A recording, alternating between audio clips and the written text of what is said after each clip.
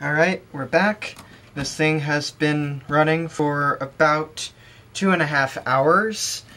It is quite warm to the touch, maybe 40 Celsius or so, probably a bit more. The case is a bit small for the 13.2 watts I measured it drawing from the mains. However, it is not shut down yet, which probably means that the owner was seeing intermittent failure, but not a consistent rapid failure.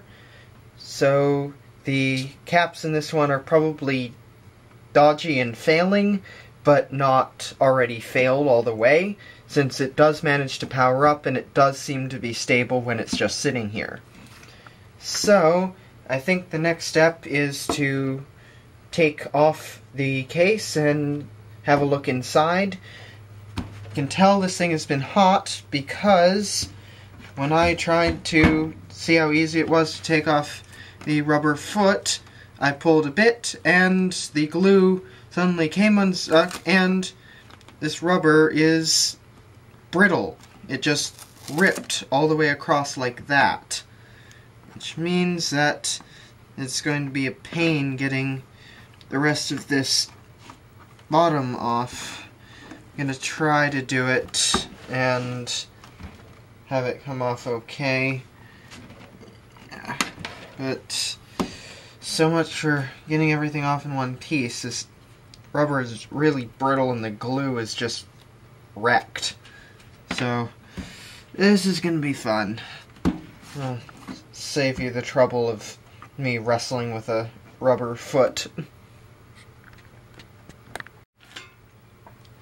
Well, I've opened it up as carefully as I could, even though the result is still the base in two large pieces and one small piece, and the glue just wrecked.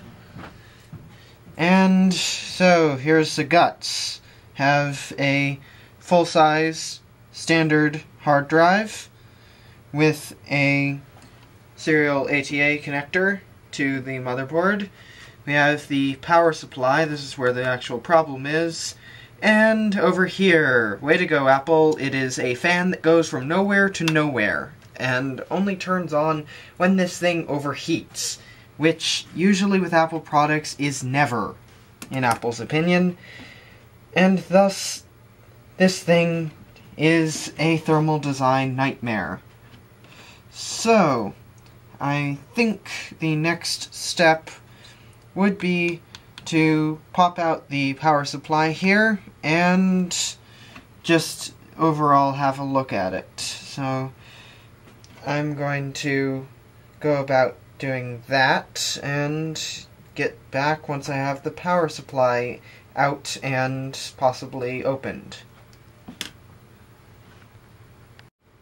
Well, I've opened up the power supply as careful as I can, except for the fact that the now cooked plastic is very, very brittle, so the slightest touch, even with a nice sharp knife, it all crumbled into tiny little bits and pieces. So I'll have to find some other way of wrapping it back up when I put it back together. So, here's the power supply. Mains input here.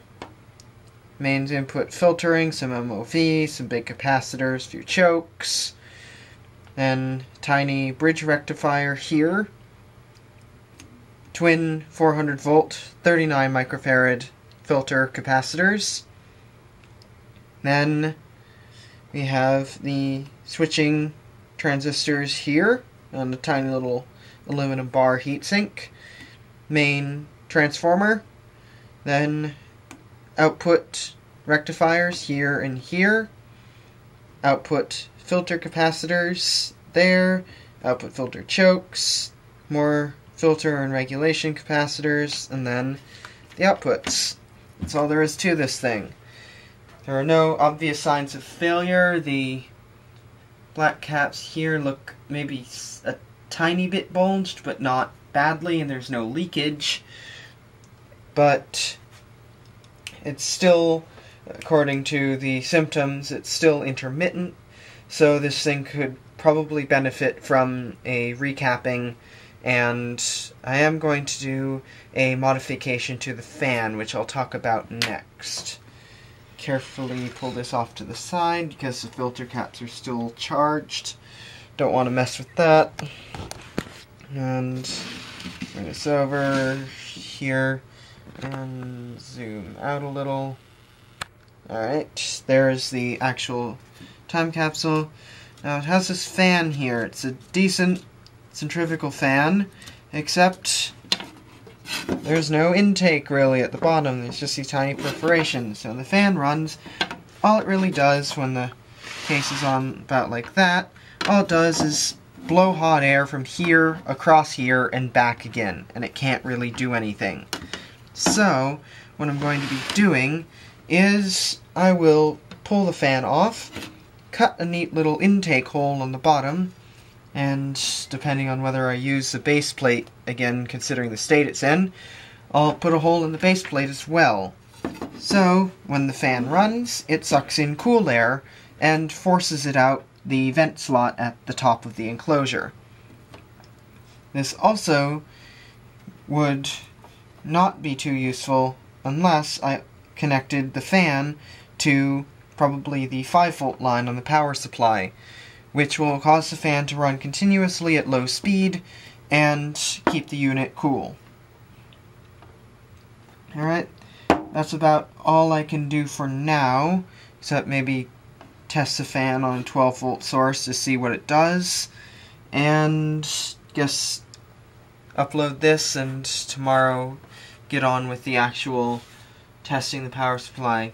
No, actually never mind, I'll, I'll make another video of testing the actual voltage on the power supply later. So, that's all for now. Thanks for watching.